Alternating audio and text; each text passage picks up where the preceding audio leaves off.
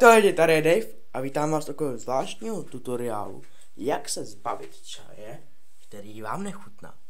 Je to jednoduché. Musíte mít záchod. Dnes vypadá nějak takto. Prosvítím. Takže, doporučuji vám vždycky vyndat lžičku, pokud nechcete mít lžičku i v hajzlu.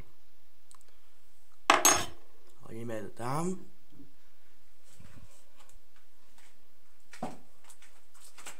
A bohem.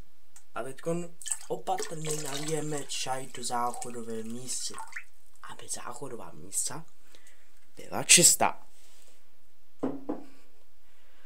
A teď už nezbývá nic jiného, než to spláchnout. A tak.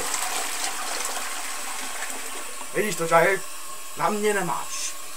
Takže, to je takový debilní tutoriál, no. Sice to fakt debilní, ale... Co dodat? Jako čaj můžeme pak už jenom zaslat do cezu, ale to pak rodiče nebo někdo jiný umíje.